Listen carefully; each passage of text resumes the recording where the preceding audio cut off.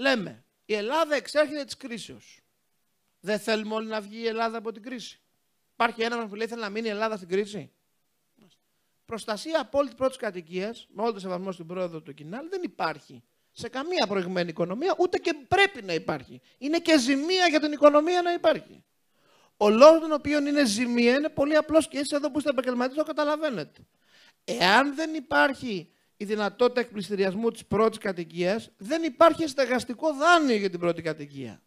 Γιατί ο μόνος τρόπος για να υπάρξει στεγαστική πίστη σε κάποιον που δεν έχει άλλη περιουσία είναι να εκπληστηριάζεται η πρώτη κατοικία.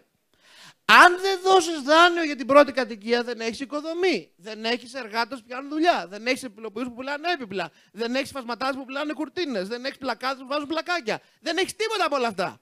Όλα αυτά όμως είναι μικρομεσαίοι κατά το μεγαλύτερο τους μέρος. Άρα, άμα το υπερασπίεσαι με ένα είδος ιδεολογικής αιμονής, στην πραγματικότητα δεν αφήσεις άλλους ανθρώπους χωρίς δουλειά. Όχι, εγώ αυτό το δέχομαι. Ναι, ήταν σωστός ο νόμος Κατσέλη, αγαπητέ Πρόεδρε, και σωστά ψηφίστηκε τότε που η Ελλάδα κατέρεε. Όσο η Ελλάδα εξέρχεται της κρίσης όμως, σε κάποιο σημείο της διαδρομής μπορούμε να διαφωνούμε αν αυτό θα είναι 30 Απριλίου του 2020 και έτσι να πείτε πρέπει να είναι 30 Απριλίου του 2021 ή 30 Απριλίου του 2022, αλλά σε κάποιο σημείο της διαδρομής θα πρέπει να ξέρουμε ότι η είσοδος στην κανονικότητα σημαίνει κανονική, να πω άλλη μια απαγορευμένη λέξη για όλους εδώ τους περισσότερους, καπιταλιστική οικονομία. Που σημαίνει τράπεζες ισχυρές. Προσέξτε τώρα γιατί αυτό αφορά κυρίως μικρομεσαίους. Οι μεγάλες επιχειρήσεις δεν νοιάζονται γι' αυτό. Γιατί πολύ μεγάλες επιχειρήσεις ούτε που τους νοιάζει αν οι τράπεζες μπορούν να δίνουν λεφτά στις μικρομεσαίες επιχειρήσεις ή όχι. Οι μεγάλες επιχειρήσεις θα βρουν τρόπο να δυνατοθούν. Εάν είναι πολύ μεγάλες θα βγουν να εκδώσουν ομόλογα και θα μαζέψουν και πάνθυνα λεφτά σήμερα. Ο ΤΕ, μια μεγαλύτερης επιχείρησης Ελλάδας, πήγε, δανείστηκε με 0,80. Ο Μητυλινέος με 2. Και ούτε καθεξής. Άρα, όταν δεν θέλεις να έχεις ένα τραπεζικό σύστημα που να λειτουργεί, στην ουσία δεν βλάπτεις τις μεγάλες επιχειρήσεις, βλάπτεις τι μικρομεσαίες επιχειρήσεις.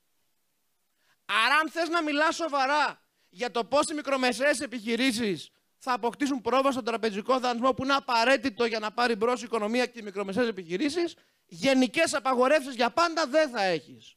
Και αυτό πρέπει να το πούμε στον κόσμο με θάρρος και με ειλικρίνεια. Γιατί για να βγούμε από την κρίση πρέπει να σκεφτούμε γιατί μπήκαμε στην κρίση. Στην κρίση μπήκαμε γιατί λέγαμε όλοι μεταξύ μας ψέματα. Λοιπόν, δεν θα αλλάξουμε τους κανόνες οικονομίας. Εγώ θέλω να έχουμε προστασία στην πρώτη κατοικία του ανθρώπου που πραγματικά και αποδεδειγμένα δεν μπορεί να πληρώσει και δεν έχει άλλη λύση. Αυτός πρέπει να προστατευτεί. Σε αυτόν θα φτιάξουμε δίκτυ προστασίας, γιατί ναι, εδώ βάζω μια δεύτερη παράμετρο, ένα κεφάλαιο είναι να δουλεύει η οικονομία και η οικοδομή και όλα τα άλλα, ένα δεύτερο κεφάλαιο είναι να μην αφήσουμε κανέναν πίσω. Ναι, αυτοί θα πρέπει να προστατευτούν. Αλλά θα πρέπει να καταλάβουμε για ποιους μιλάμε.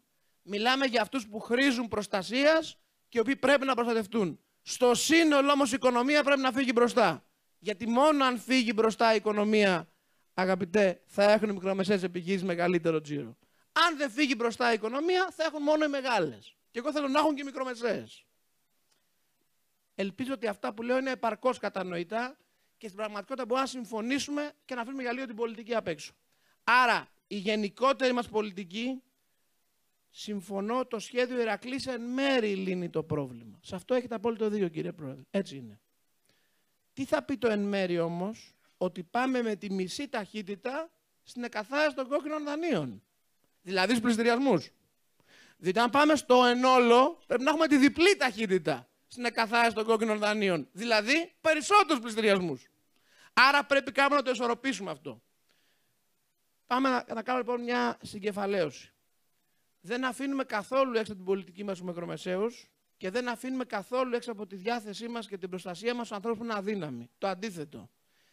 Και οι δεύτεροι μας ενδιαφέρουν για λόγους κοινωνικής συνοχής και κοινωνικής δικαιοσύνης και θα προστατευτούν αυτοί που πραγματικά δεν έχουν να πληρώσουν και οι οποίοι έχουν βρεθεί σε πολύ μεγάλη αδυναμία και κυρίως έχουν βρεθεί σε πολύ μεγάλη αδυναμία τη δεκαετία της κρίσης θα προστατευτούν. Λεπτομέρειες θα ακουστούν προσεχώς στο σχέδιο νόμου και αυτοί που έχουν λεφτά και κάνουν το κορόιδο θα πρέπει να πιεστούν να πληρώσουν γιατί αυτοί που έχουν λεφτά και δεν πληρώνουν στην ουσία στερούν δουλειά από το δικό σας το παιδί και από το δικό μου το παιδί και από το δικό μου το κατάστημα και από το δικό σας το κατάστημα. Και αυτός πρέπει να μην έχει προστασία. Γιατί αυτός βλάπτει όλους τους υπολείπους. Και αυτά πρέπει να τα ξεκαθαρίσουμε με θάρρος και να τα τελειώσουμε. Γιατί αυτά μας έφεραν στην κρίση και στη χρεοκοπίας.